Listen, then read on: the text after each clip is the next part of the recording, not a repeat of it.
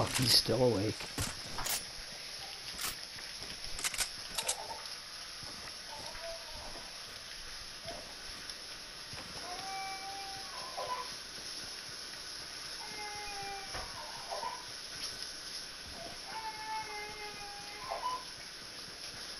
I told you it was probably too early for him to go to bed, babe. Could be the bacon. No, it's not the bacon, Gabe. That's silly. That's silly, dude. Bacon's not going to keep him awake.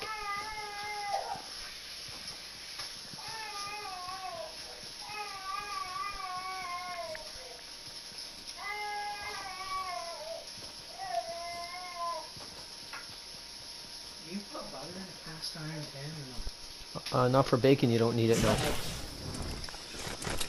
What about eggs? Eh? What about eggs? Uh, I don't know. Couldn't hurt, so I'm gonna do it.